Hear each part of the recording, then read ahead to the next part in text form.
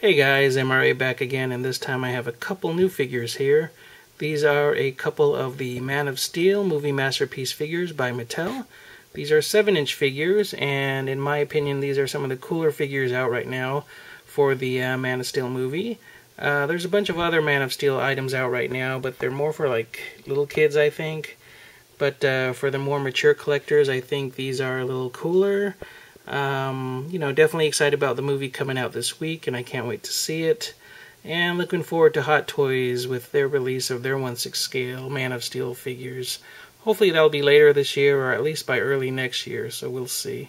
I'm going to play a real quick clip, real quick, so those of you who don't care for teasers or any reveals of the movie, look away.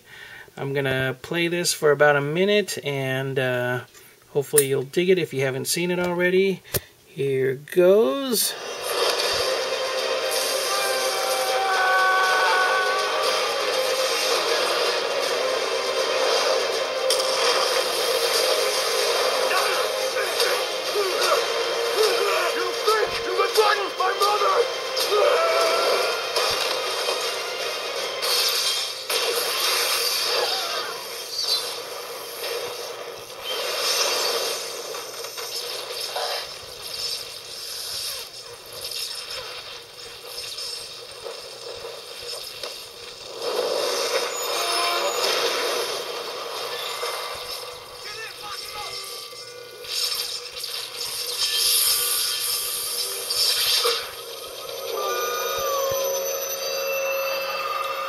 Anyways, yeah, just a quick little clip. You can see it better for yourselves here on YouTube. But uh, anyways, that shows a scene with uh, the Man of Steel himself, Superman, as portrayed by Henry Cavill. And, uh, of course, General Zod. And uh, he's wearing his Kryptonian armor, just as he is here in the uh, figure. And let me give you guys a quick look at the details of this figure. Really well done for a Mattel for a smaller mass-produced figure. Has uh, several points of articulation, the wrists, the uh, elbow, the uh, shoulder, the waist, the knees, and he comes with this really cool uh, stand this is the uh, symbol for Jor-El, I mean not Jor-El, sorry, General Zod. And uh, Superman comes with his own symbol. Oops, there we go. Sorry about that, dropped that on the floor. I'm always dropping things in my video, it's my trademark. But anyways, that's his uh, stand with his symbol there.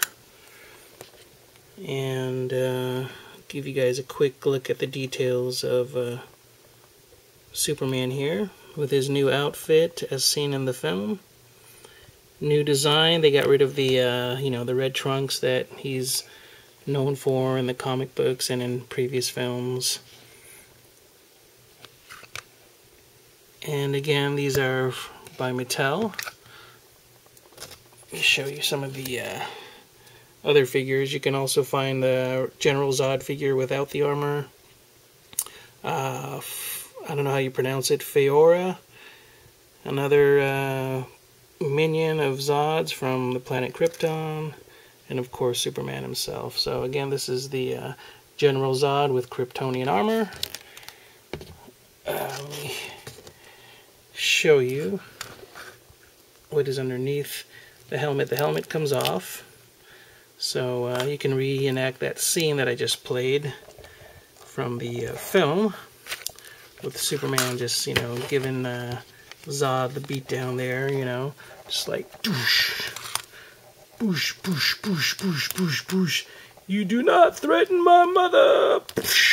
Anyways, so there is the Man of Steel, and where did Zod go? I dropped him again. General Zod, and just some really cool figures. I mean, just something neat to have in the meantime until, you know, something cooler comes out like the Hot Toys figures. There's some cool statues out right now, too. Um, you know, you can get those from DC Direct. but uh, these are pretty cheap at about 15 bucks each, and uh, I think they're really cool. So anyways, I uh, thought I'd share that real quick. Thanks again for watching, and stay tuned for more. Keep on collecting, guys. Peace.